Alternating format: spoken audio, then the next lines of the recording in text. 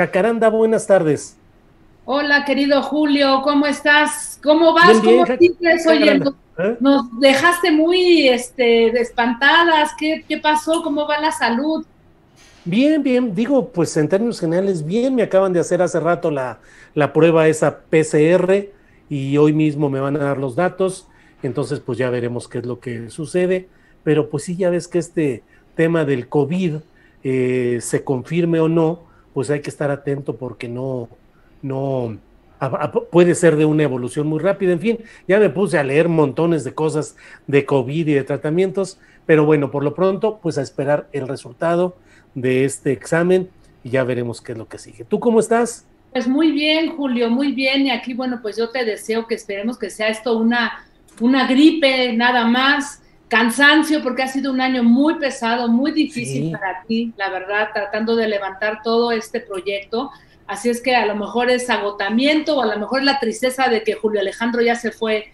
A, ya me fue el hijo de la guayaba, ya se fue. este se fue la semana pasada pero ya tenía que irse porque le dieron una beca, perdón, una visa en Reino Unido que se llama Talento Global, que es una visa especial que la dan a muy pocas personas, pero pues estaba desde, desde marzo que él vino para acá, vino a hacer ciertos trámites, ya se le habían dado y se había tardado en regresar, entonces, hijo, vete ya porque si no, en un descuido te cancelan tan interesante eh, vista y ya se regresó y está por allá. Pero en fin, ¿de qué nos quieres platicar? Pues mira, Julio, hoy déjame hacer una, una breve reflexión a ver qué piensas. Yo creo que tú también vas a tener eh, algunos puntos de vista que compartir eh, conmigo, ¿no? Porque pues, eres alguien que está muy activo siempre eh, en las redes sociales y en Twitter, ¿no?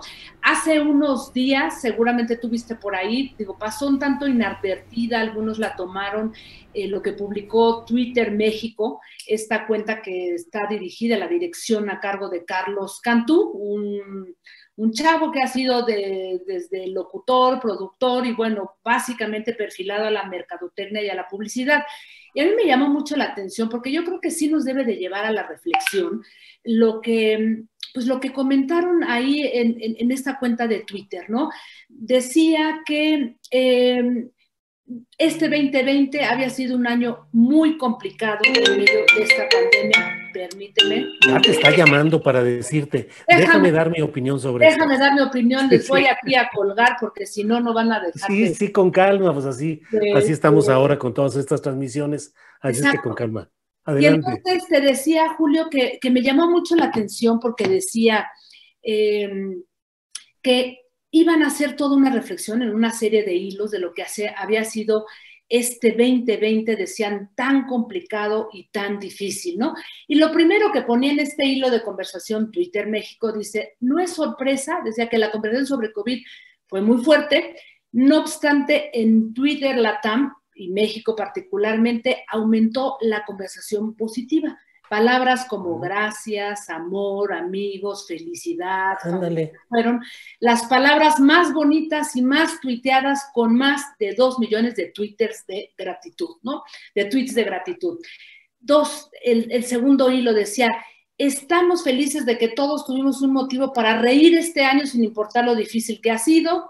Y tres, eh, cómo se incrementaron las interacciones en torno al cine, las series, partidos de fútbol, música, pero ¿sabes qué, Julio? Yo dije, bueno, mira, sí, ah, ciertamente es una, es una red por donde pasan muchas cosas, pero ni una sola mención, ni una sola reflexión ni autocrítica a lo que ha sido este año tan complejo, donde por Twitter se ha propagado la mayor cantidad de noticias falsas, de agresiones, un incremento de la polarización, y yo misma lo he dicho, somos rehenes, ¿no? De, de, una red que de alguna manera promueve nuestros odios, nuestras fobias y nuestras filias. Eso por una parte.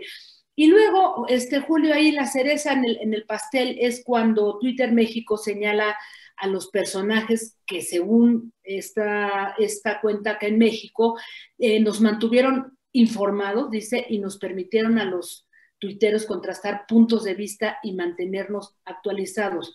Hay nombres de varios periodistas, algunos serios, algunos no entiendo por qué están ahí, pero luego viene algo que es muy interesante y dice ahí, los 10 handles más tuiteados.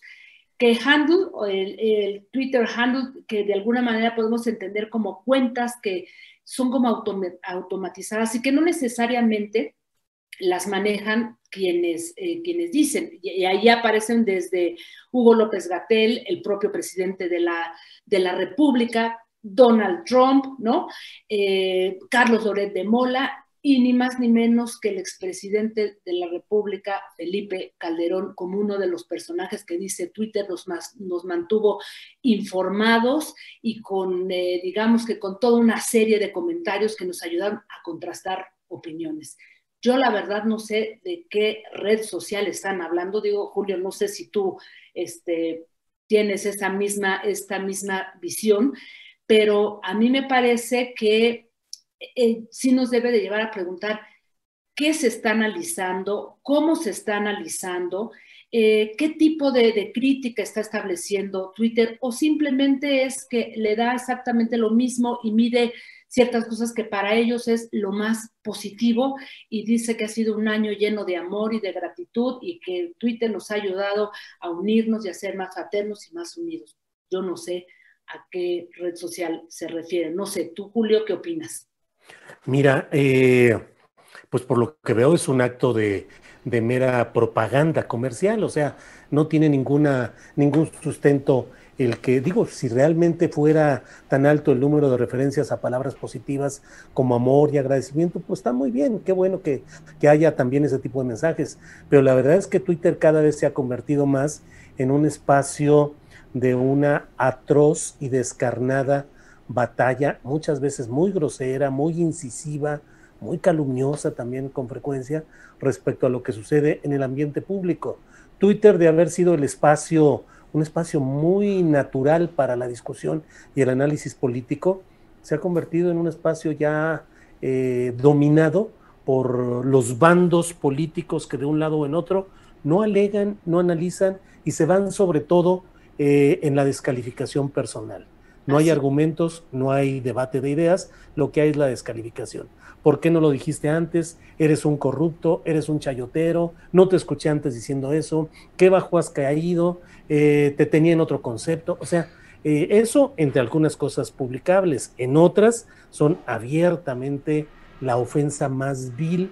Incluso, fíjate, yo ya tengo la piel muy curtida, eh, la verdad, no me, no me afectan estas cosas, pero por ejemplo, ahorita que estoy metido en este asunto de salud personal, carajo, hay gente que, que dice cada cosa contra alguien, que dice uno, bueno, eh, ¿cuál es el, el, sentido de, de, esa ofensa tan, tan, eh, tan fuerte que hacen? Entonces, yo creo que Twitter tiene que hacer una reflexión y ese tipo de propaganda de hablar de un positivismo comercial, pues es solamente un reflejo de que no andan muy bien las cosas. Así lo veo yo, Jacaranda. Totalmente, y fíjate, y, todavía cierran ahí en este, en este hilo, dice, en medio de todo lo que sucedió en el mundo, Twitter dice, y, sobre Twitter en general, ¿no? Dice, fue el lugar donde nos unimos para mantener la cordura durante la cuarentena. Yo digo, bueno, pues está muy bien como estrategia, pero dice, yo creo que nos debe de llevar realmente a la crítica y a la reflexión porque no es posible esta tuitosfera, ¿no? Que eh, prometía tanto, ¿no? Esta, esta libertad, que hay cosas que son eh, importantes, sin duda, cosas muy valiosas, pero sí creo que nos debe de llevar a reflexionar sobre todo en todo lo que tiene que ver con la propagación de noticias falsas, Julio. Sí, así es, Jacaranda. Jacaranda, pues muchas gracias. ¿Y qué tienes en, en, cartera para el próximo jueves, para estos días? ¿Qué tienes en tus trabajos periodísticos, por favor? Pues mira, esperemos que logremos una entrevista con el doctor Hugo López Gatel. Eh, vamos a hacer una evaluación a un año de, pues, del primer caso de, que se presentó en la provincia de Wuhan, en China de lo que fue primero una neumonía típica y luego, pues bueno, meses después ya sabíamos que era el SARS-CoV-2 que, eh, que, que, de alguna manera estaba promoviendo esa enfermedad de COVID-19. Así es que eh, ya, ya, les contaré, esperemos eh, lograr esta entrevista porque sabemos que es un hombre muy ocupado y con muchas actividades, pero en principio la tenemos este jueves, Julio querido. Qué bueno, ojalá y se dé. Y va a ser un momento en el cual veremos en acción la polarización tuitera, porque el tema López Gatel y políticas sanitarias vuelve loco al Twitter. agresiones, ofensas de un lado y de otro. Totalmente. Quienes no permiten eh, que tú pongas en duda que por qué no se reconoce que debe ser rojo el semáforo en la Ciudad de México, hasta quienes incluso acusan en términos pues de criminalidad y de asesinatos al presidente de México y al en tonos muy desgarbados, muy excesivos, que no ayudan a nada. Para mí, por desgracia, Twitter ya no es una, un punto de referencia para el intercambio de opiniones, para el debate y además para estar atento al pulso de lo que va pasando en la sociedad. A mí cada vez me cuesta más trabajo tratar de extraer o de pescar ciertas perlas de eh, interesantes en medio de todo un basurero que dices, órale. En fin, pues ya veremos cómo van las cosas, Jacaranda. Julio, cuídate mucho, este, mejórate, descansa, que es lo que te hace falta, y nos vemos dentro de ocho días y ya te, ya te contaré a ver qué nos platicó, si es que logramos la entrevista con el doctor Hugo López Gatel. Te mando un abrazo, querido Julio.